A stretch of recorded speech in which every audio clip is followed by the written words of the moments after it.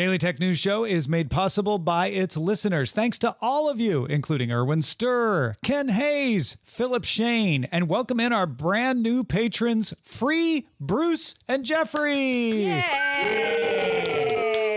Good to have new patrons. Welcome on in. Everybody make them feel at home. On this episode of DTNS, The Verge's Sean Hollister helps us break down Intel's attempt to stay in the AI PC game. AI scientists don't want to be silenced about risk, and Instagram's attempt to force you to watch ads. This is the Daily Tech News for Tuesday, June 4th, 2024. I'm Tom Merritt, and I'm in Los Angeles. And I am Sarah Lane, and I'm at Studio Animal House. They're all sleeping. Uh, I am the show's producer, Roger Chang. And joining us, senior editor and founding member of The Verge, Sean Hollister. Welcome back. Hi. it's good to have you, man. Hi. That's the sound of someone who's been covering Computex for the past rest of his life.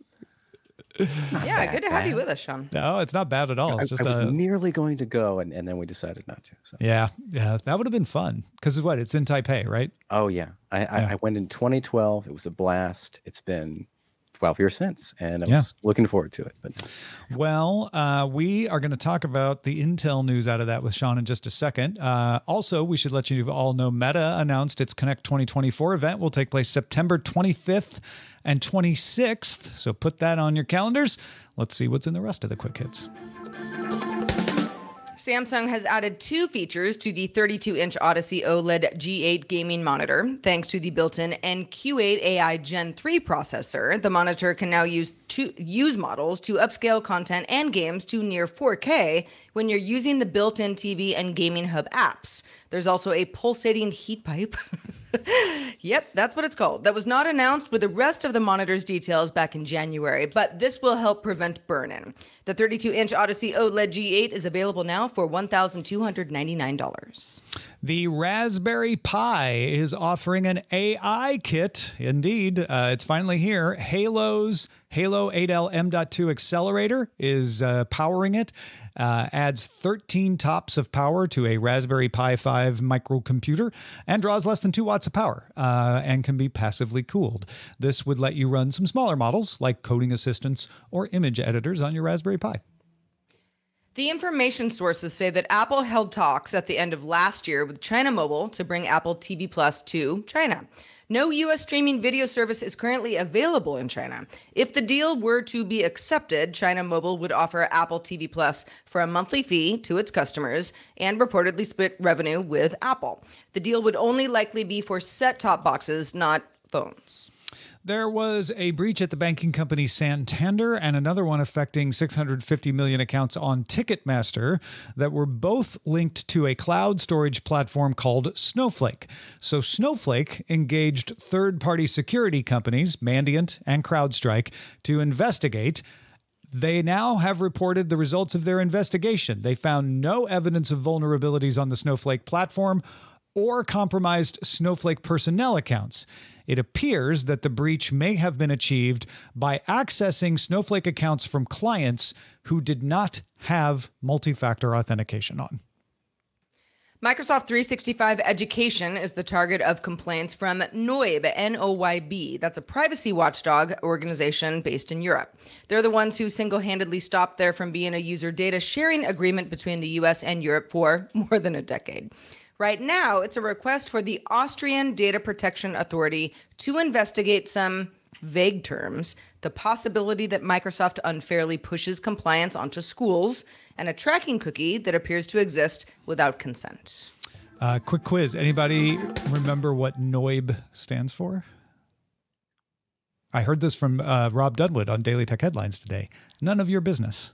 NOYB. You know, that That's pri- makes that's pretty good privacy, yeah, I actually looked it up just to make sure that I had it spelled right, and I hadn't thought about what it meant. None of your business. I like it. Uh, well, Intel unveiled its Lunar Lake platform at Computex. Uh, that is its chip that is Copilot Plus compliant, coming to those kinds of laptops this autumn. Uh, this is just six months after the previous gen Meteor Lake. Intel promises up to 14% faster CPU performance, 50% better graphics performance, and 60% better battery life. Uh, Sean, you've been digging into this directly with the folks from Intel. Uh, what are the things you found most important about Lunar Lake? Well, everybody's interested in this being, you know, the new AI chip to go up against uh, the ones from AMD, NVIDIA, Qualcomm, the ones that are going to be in these Copilot Plus PCs. But at, next year, nobody's going to care about that because it will be table stakes that all of these chips will have this amount of AI generative processing in them or more thanks to a little coprocessor in Intel, in, in AMD, in Qualcomm chips in your laptops. Everybody's going to have this. So that part doesn't matter quite as much as the fact that Intel has to finally do something about Apple. They have to do something about ARM chips, ARM chips using a different uh, instruction set than the x86 chips that Intel and AMD have been building for you know all of our lifetime in computing. Um, a few years back when Apple introduced those M1 processors and said, hey, we're going to build our own ARM chips, all of a sudden we're like, here is a tremendous amount more battery life from a laptop. The processing is good. It doesn't need as much cooling. And it's beyond time for Intel to do something about that. This is Intel coming out swinging there. Yeah, I thought you did a great job uh, in the article on The Verge, sort of breaking down the comparison, the simplicity, what's going on in these chips. Uh, and a lot of it sounded very much like uh, an M series chip, right? There's integrated RAM, uh, there's a, a, simpler die. Uh, walk us through a little bit of the, the highlights of that.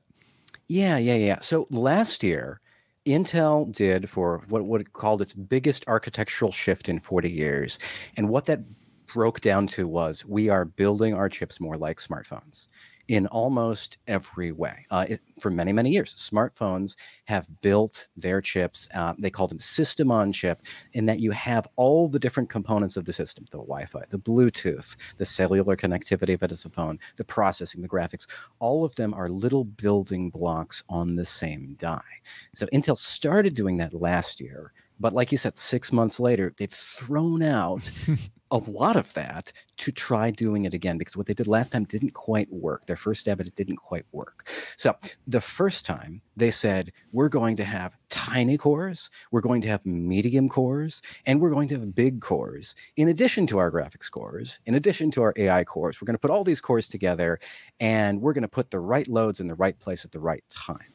And so they built um, some Windows scheduling with Microsoft so that they could theoretically run most of your apps on these tiny, tiny, tiny cores so that unless you were doing something big with your computer, you could save a lot of battery life by keeping your tasks on this low power island. So the low power island still exists this year, but they have ditched those tiny cores entirely. They could not keep the tasks on that low power island the way they want. They were eating up too much battery. Uh, so they said, we're going to make some better medium cores. They have, they called them the efficiency cores, the E cores. They've been around for a while, but the ones this year are so much more powerful and potentially so much more efficient. We would know for sure if Intel ever labeled the axes on its charts, but it doesn't.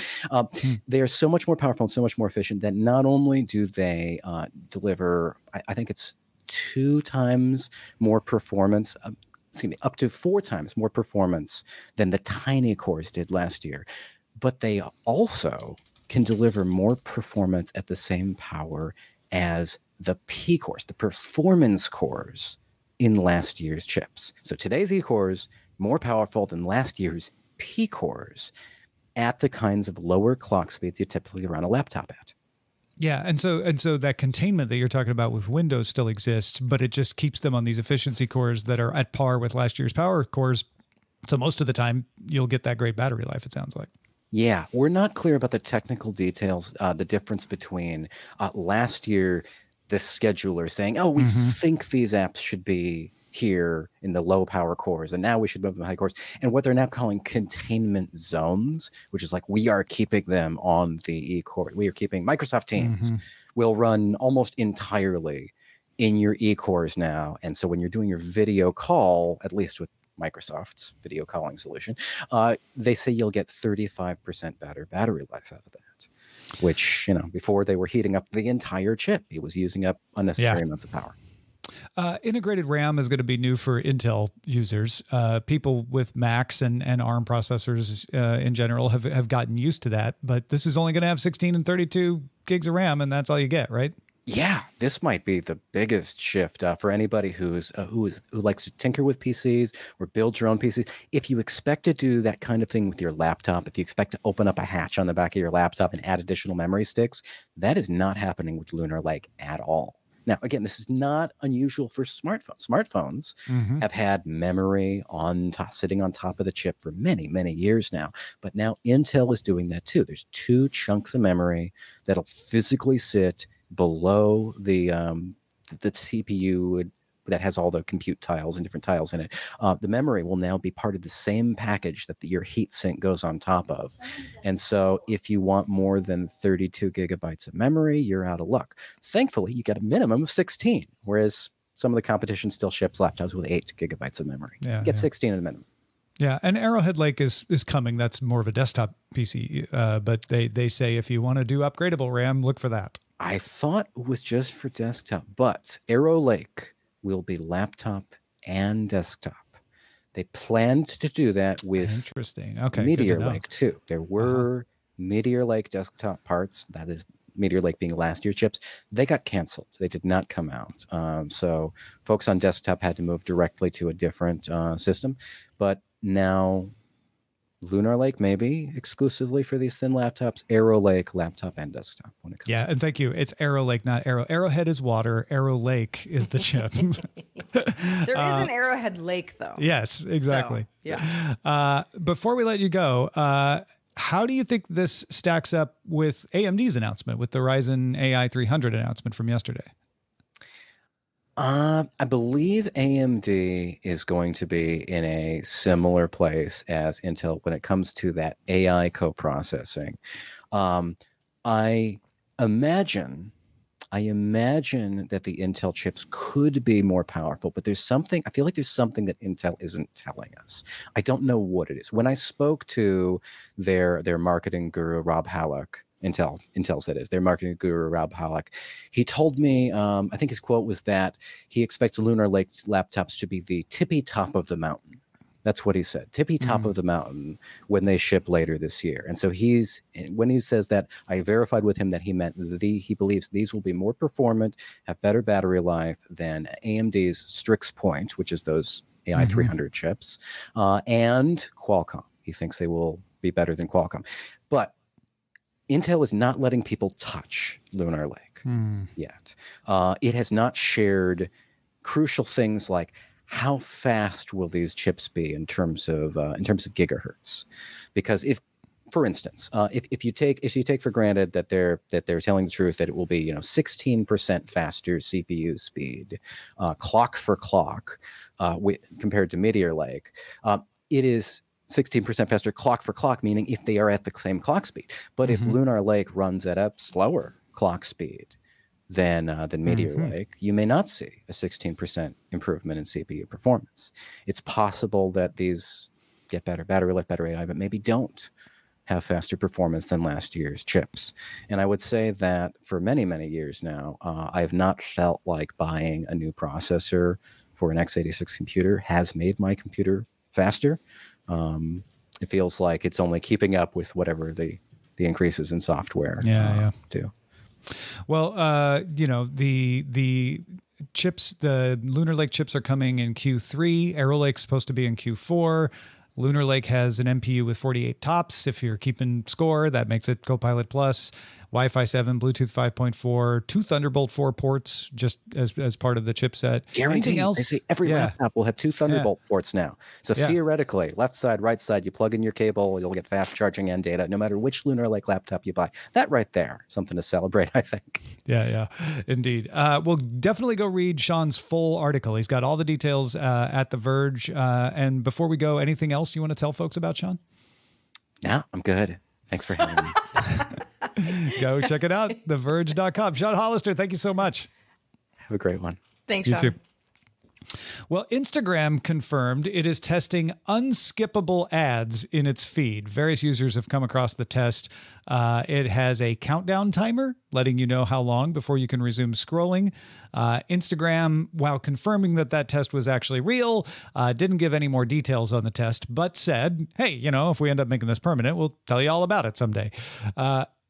Anyone besides an advertiser who would like this to become permanent, do you think, Sarah? No, no, I don't think anybody wants this. I also think people are used to this. Um, anybody who spends time on YouTube and doesn't pay for YouTube Premium is going to have at least a few seconds of ads, even skippable ads. You still have to sit through a few seconds of them. Um, and in some cases, you know, you don't even have the options to skip. So this is not abnormal. And I really don't, I mean, I was about to say I don't fault Instagram for doing this. I mean, it, it's as a user, no nobody wants this. But it's sort of like, okay, Instagram has a few options. You either make people pay for an ad-free version of the service, um, which could possibly be a thing. You do this sort of like, hey, you can't get away from the ads, and sometimes you can't scroll past them, and that's just part of the deal. Or uh, what's the alternative? Uh, that because the company wants to make money. That's that's the bottom line here. Uh, so so uh, how do you how do you annoy the users, but not enough for the user to just say like, okay, I don't want to hang out here anymore. Would you partner with popular creators, take a cut of the creator's cut. I mean, that's already happening, but you know, you get to the point with uh, a platform like Instagram, and what what what what else do we expect? Yeah, I didn't expect unskippable ads in Instagram because it is contrary to the user experience. It's one thing in a video where we're all used to pre-roll ads for YouTube to say like, guess what, you can't skip the pre-roll ads anymore. Uh, it is another thing in a in a system that's been around for 10 plus years to be like, we're built on keeping you scrolling. We are now going to stop you scrolling. I think that's risky. Like I totally get what you're saying. You're absolutely right. They they want to monetize and maybe the solution is they'll be like, "Hey, for $5 a year you can have no ads in Instagram." Although Instagram's one of those weird places where people seem to kind of like the ads sometimes. Like I, I actually saw people saying, you know, I use Instagram ads and I've bought lots of things from them, but I will stop paying attention to them if they do this. Uh, it's almost like people don't want to get rid of the ads. They like them the way they are. In some cases, some of you are probably reviled uh, by that notion, but I personally am not emotional about it, but I will say I go to Instagram as sort of like a side diversion. And if yeah. I'm scrolling through and suddenly it's like, oh, you have to wait 20 seconds for this ad, I'll just go somewhere else. I won't, I won't go away mad. I'll just go away. You know what I'm saying? right. Yeah. Yeah. no, I'm with you on that. It, I do think Instagram is sort of unique in the sense that, yes, so many things that are Instagram ads are things for sale, easy to buy. Look at this photo set or a video of the cute boots that you were looking at uh, a week ago because we know where you've been. That kind of stuff. It is, it works on Instagram. I have bought, I mean, not that many things uh, based on Instagram ads, but it's it's definitely it captures your attention. Um, if nothing else, especially when uh, Otis the dog is on his Instagram, obviously not me because it's his Instagram account, but he gets served up lots of, you know, like dog bed and dog toy and cute dog hoodie ads. And I mean, it's all I can do not to be like, just click. It's so easy. yeah, just, right. Just one click. but but uh, at the same time, when Instagram ads first rolled out, and I think that was what are we talking like 2016? Yeah, something around there. It was it was right around the time that Instagram introduced the algorithmic feed, which at the time, those of us who had been sort of ride or die for the platform were just like, this is the worst. And now we all just got used to it. You know, it's not going anywhere, it's everywhere. But uh, at the time, I, you know, I'd say hide ad. Every ad I saw, hide. And I'd be like, eh, they, we'll just run out eventually. No, that's not what happened. Uh, they just came back in force, and now I just, I just deal with them. But yeah, yeah, we're all used to it now. Yeah, but yeah, that whole sort of you can't scroll without watching the ad. Um, it that tends to anytime that happens to me in any similar form where I'm sort of forced to deal with an ad, I'm just like la la la la la. Do not care. You yeah. know, I, I am fighting you now, and you know it's just not a great experience. I suspect the, there's a principle of the internet that more people complain about a thing than will actually act on it. So I think that is worth taking into account here. Yeah. Uh, but there is a principle of and I've seen many people, I think Stoic Squirrel just said it. I've seen lots of other people say, well, if the ads are good, you won't skip them anyway. So why force people to watch them? Uh, and that is a principle that if it were 100% true, there would never be unskippable ads, right? Uh, apparently, unskippable ads are effective because the advertising world wants them. Uh, and that's why Instagram is testing it. To be fair to Instagram, they're testing it. They're seeing does this cause people to stop scrolling? Uh, and if it does, they won't continue with it, and they'll be able to tell their advertisers, "Yeah, here's the numbers. We did a we did a search, and it doesn't work on our platform." That's kind of what I'm hoping selfishly happens. But you know what? If if it doesn't stop people from skipping away, if I'm wrong and I'm like, uh, you know what? I even though it's unskippable, I don't skip away. If they if they're like fine tune the exact right amount of time for an ad on Instagram to be unskippable before people you know do close, um, we're probably going to be stuck with it. I also, you know, you mentioned something like five dollars a year to not get ads. I mean, if it was really that low, I'd be like, yeah, of course. I'd probably I mean, do it for five dollars a month.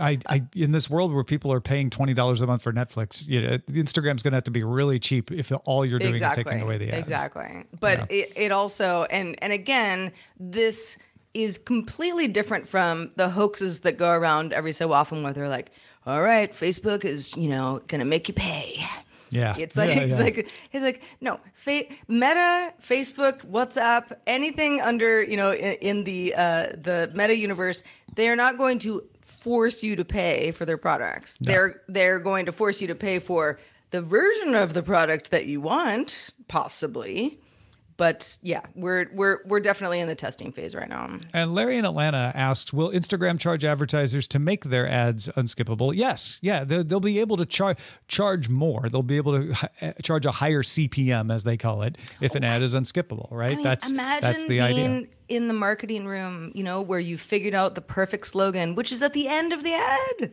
You're like, no, people need to see the whole ad. Yeah. We all worked they, very hard on this. The advertiser believes that the ad will be more effective if it's unskippable. That's why they want it. And if it turns out that that's true on this test, then Instagram can charge more for it. Yeah, exactly. Exactly. Well, uh, it's been uh, an exciting week at Computex already, and next week uh, is no different. Apple's Worldwide Developers Conference, WWDC, is next week, and Apple Vision Show is on it, y'all. Each week, Eileen Rivera and I talk all things Apple while also keeping an eye on the competition as well. We want to know what everybody's doing in the space. Do join us at applevisionshow.com. More than two dozen current and former employees of OpenAI, Google's DeepMind, and Anthropic signed a letter posted at righttowarn.ai called A Right to Warn about advanced artificial intelligence. So the URL is very apropos. Seven of the 26 signees used their name, the rest were anonymous. The letter was also endorsed by AI pioneers Yoshua Bengio, Geoffrey Hinton, and Stuart Russell. The letter called on advanced AI companies to commit to four principles allowing employees to anonymously raise concerns about AI risks without fearing retaliation of being sued for violation of confidentiality agreements. The letter specifically called for the protection of trade secrets and intellectual property when raising concerns in four specific categories. So, specifically, no prohibitions on disparagement of a company over risk related concerns. So, if I work for a company or otherwise know about something that the company is doing, uh, I don't have to worry about legality. A process for anonymously raising concerns to company boards, regulators, or appropriate independent organizations. Kind of piggybacking off of, of step one, but same idea. Number three, support for a culture of open criticism. Mm-hmm. We should all say how we feel. Number four, promise to not retaliate for raising risk related concerns in public if all other processes have failed. Yeah, so this is this is this is tricky uh, because uh, if you are a lawyer uh, and I, have I've worked with many great lawyers who've, who've, expressed that this is often the way lawyers work. Uh, you tend to say, let us protect against all possible eventualities. Let's set the line as far away as possible from from us getting sued. Uh, and so that disparagement thing that you were talking about in that first point uh, is one that they will do when they are giving someone severance pay, for example, uh, mm-hmm. or giving someone stock options. They'll say you you will get these options granted, you will get the severance pay if you agree that you will not disparage the company in any way for the next whatever five to ten years. Uh, that's boilerplate. Uh, I've signed one. Sarah signed one. Roger signed one. You know, we've all I've signed more than that. one. Yes. Yeah, exactly. Right. And so what the lawyer is doing there is saying, we don't care what the disparagement is. We're just going to set the line out there as far as possible to avoid that damage, right?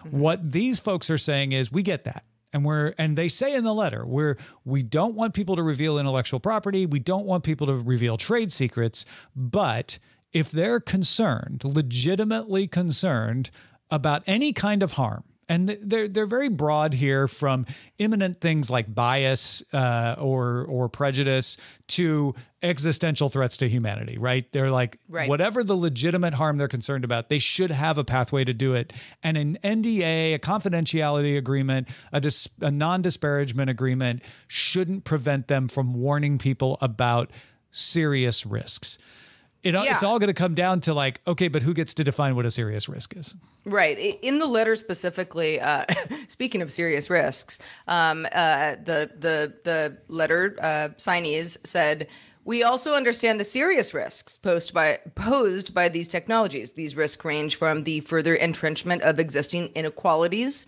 to manipulation misinformation the loss of control of autonomous ai systems potentially resulting in human extinction Mm-hmm.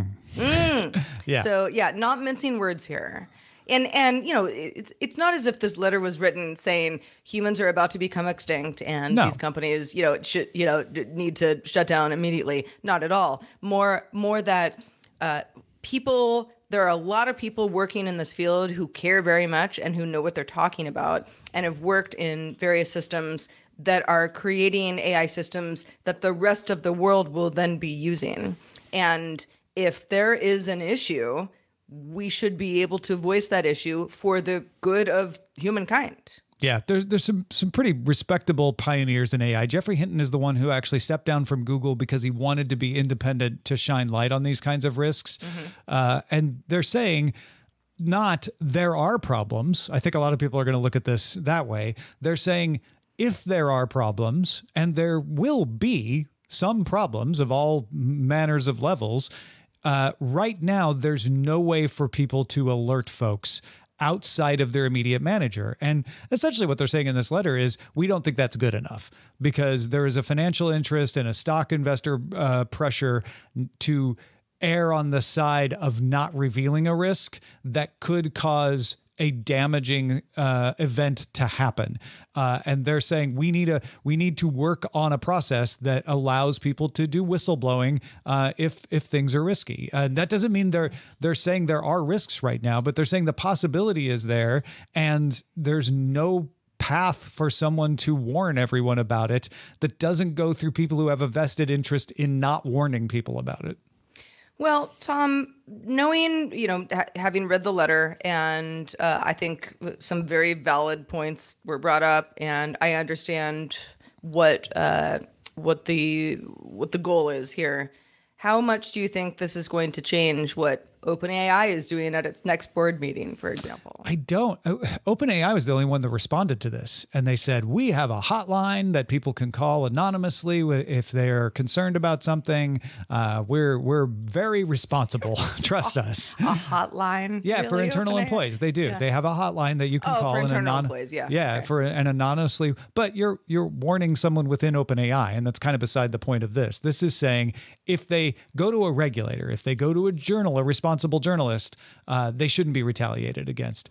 It's right. the start of a conversation. It's not necessarily a conversation that's going to go anywhere. Anthropic and, and Google have not responded, at least that I have seen as of this recording.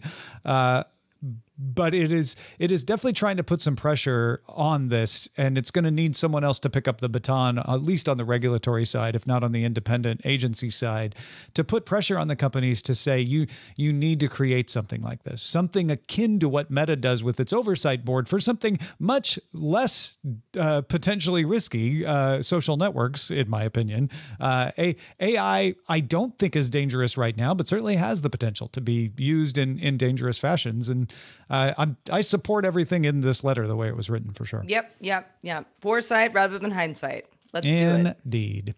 Well, uh, patrons, stick around for the extended show Good Day Internet. Uh, we're going to talk about the fact that scientists at Cambridge have developed an extra thumb for humans to use. That's right. Uh, you want three thumbs? Stick around. We'll tell you how.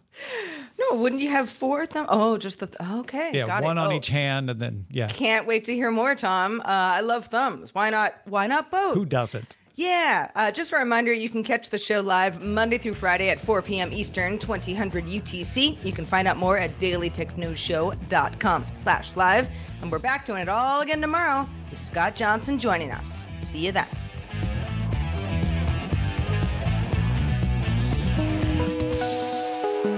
DTNS family of podcasts, helping each other understand. Diamond Club hopes you have enjoyed this program.